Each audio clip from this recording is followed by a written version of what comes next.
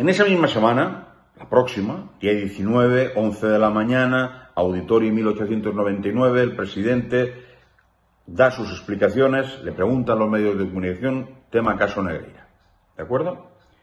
Importante aclarar las cosas y no echar balones fuera ni huir hacia adelante como hace normalmente el señor Laporta. Punto uno. Pero es que esa misma semana, estamos hablando del 17, que es lunes, el miércoles 19, el señor Tebas ha llamado al señor Laporta para que esté en la liga y le dé explicaciones a todos los clubes también sobre el caso Negreira. Son muchas las informaciones que llegan que ni Florentino ni Laporta van a estar. Pues yo creo, señor Laporta, que si usted no fuera al, a la liga y a dar explicaciones al señor Tebas y a los clubes,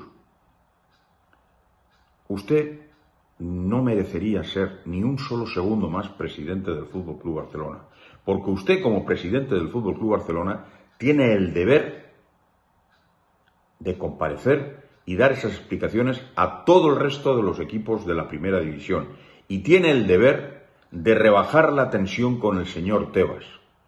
El comportamiento que está teniendo el señor Laporta y el señor Tebas en muchos momentos, también incluye al señor Tebas, parece de patio de colegio, con mensajitos y diciéndose cosas desde un sitio y desde otro.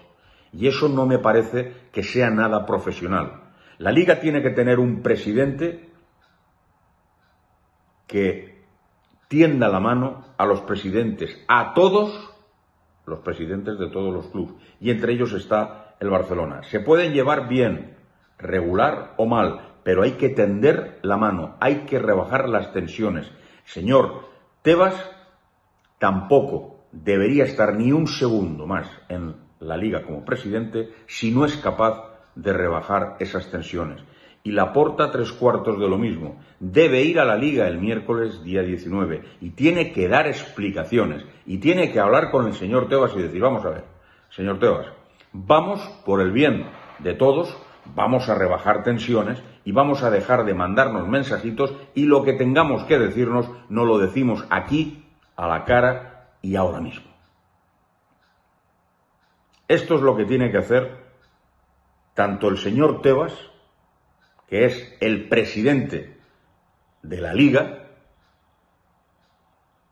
como el señor Laporta, que es el presidente de todo un Fútbol Club Barcelona. A mí no me vale eso de que no, no, el presidente no va, no va, que no va, ¿por qué?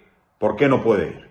Porque el señor Tebas no está hablando correctamente o está haciendo las cosas como se tendrían que hacer por parte de un presidente de la liga, que es unir y no separar ni crear fuegos entre dos instituciones? Ya saben que yo no soy amante del señor Tebas. Lo he dicho en muchas ocasiones. Se equivoca últimamente más que una escopeta de feria y dice muchas cosas que no tienen ninguna lógica cuando estoy hablando o refiriéndome al Fútbol Club Barcelona. Es verdad que otras cosas las hace bien y otras cosas las dice muy bien. Y también se lo decimos. Pero con respecto al Barça, no debería estar ni un segundo más como presidente de la liga, porque no ha tratado al Barcelona, incluso si me apuran al propio Real Madrid, como se tienen que tratar a los clubes que precisamente le votaron en su día para que fuera presidente de la liga. Que estén en la Superliga no le tendría por qué importar más ni menos, pero seguir tratando en las competiciones domésticas como se merecen tanto el Barcelona como el Real Madrid. Y la porta que vaya o que no vaya según las últimas informaciones, no tendría que ser así tampoco. Tendría que ir a Madrid y dar la cara y decir, aquí estoy, soy el señor Laporta, voy a dar las explicaciones que he dado hace 48 horas a los compañeros de la prensa en Barcelona y a toda mi afición y ahora vengo aquí a explicárselo a los equipos que conforman la liga. Y aparte luego nos reunimos usted y yo, señor Tebas, que tenemos que bajar esta tensión porque esto ya ya pasa de castaño oscuro.